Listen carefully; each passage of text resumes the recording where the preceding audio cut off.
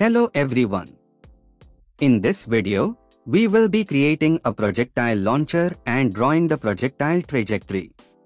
So let's dive right in. Set up a launcher with a cylinder as the barrel and an empty object as the launch point.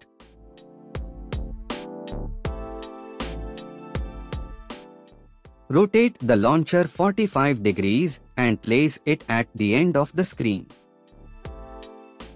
Set up the ground. Next, we will create a projectile. For that, create a sphere and name it projectile.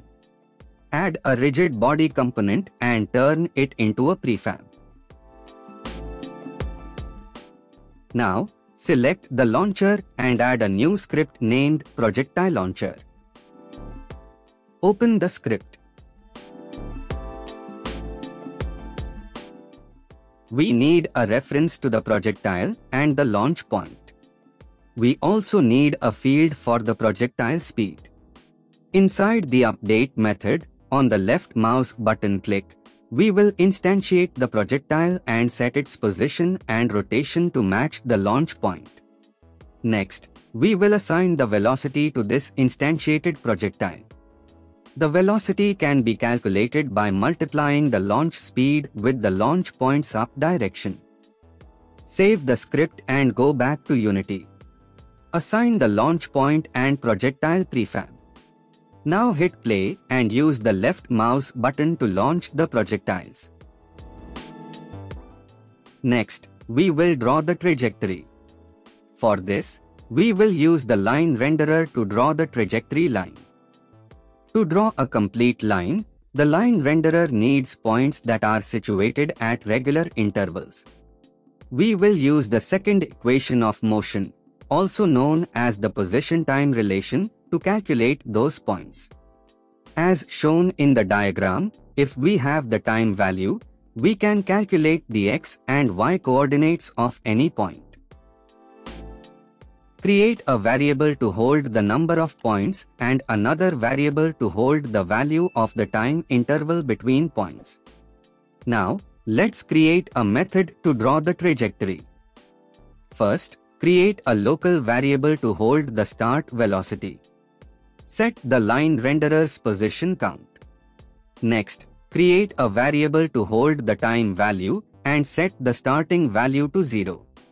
Then, create a for loop to iterate through each line point and calculate its x and y coordinates.